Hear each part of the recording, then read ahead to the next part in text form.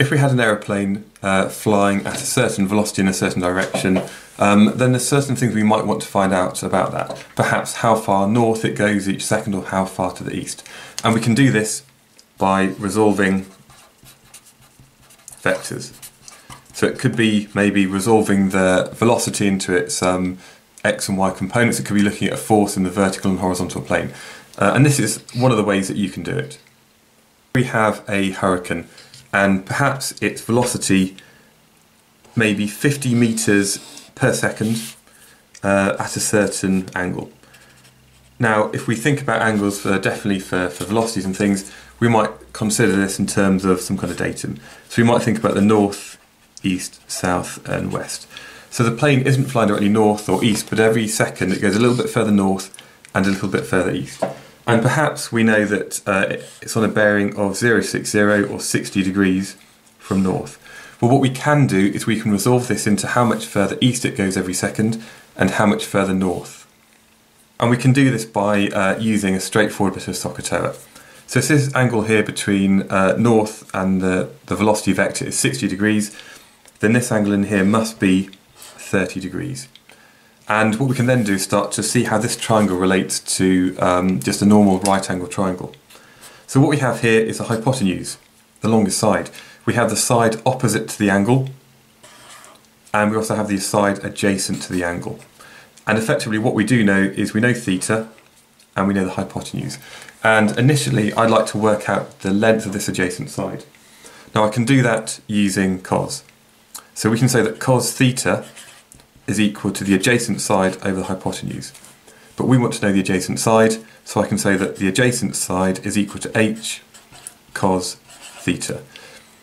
Now the length of that is going to be equal to 50 times cos 30.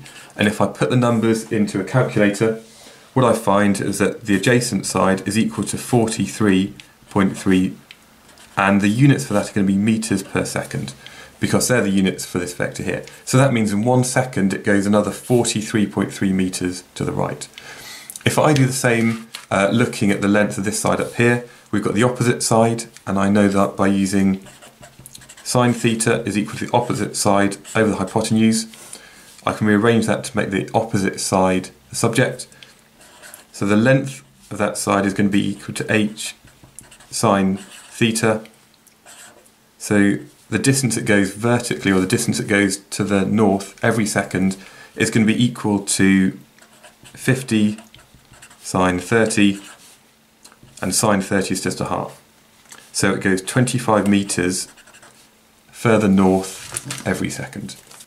Summing that up, Although it's got a velocity of 50 meters per second, I've resolved into its easterly and northerly components.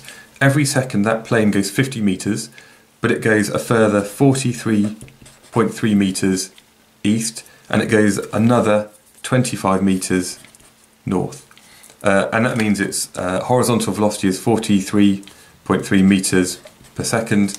Sorry, its easterly velocity and its northerly velocity is 25 meters per second You can do exactly the same thing with force acting at an angle.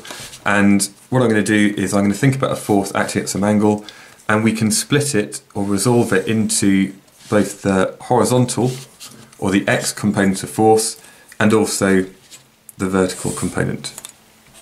Now let's just uh, use some notation rather than numbers.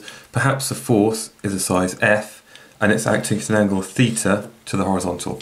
And for convenience, I'm going to say that this is the x-plane and that's a y-plane, a bit like on your graph, or we could have said that that's the horizontal and the vertical distance. Now thinking again back to our triangle, we have our hypotenuse, the opposite side and the adjacent side. If I want to find the size of this force acting in this direction, we can say that um, because we're using the adjacent side and the hypotenuse we're going to use cos, we can say that this force in the x direction fx is going to be equal to the force times cos theta. The force in the y plane fy, because we're using the opposite side and the hypotenuse in this angle here theta, fy is going to be equal to f sine theta. Now there's no easy way to do vectors. Some people it just clicks and you get it automatically, other people, if you're not that strong at maths, it's going to take a lot of work to get on with. And sometimes you have to work through maybe 10, 20, 50, you know, a huge amount of problems, and then suddenly it will click. You can then see how each of these vectors can be resolved into its vertical and horizontal components.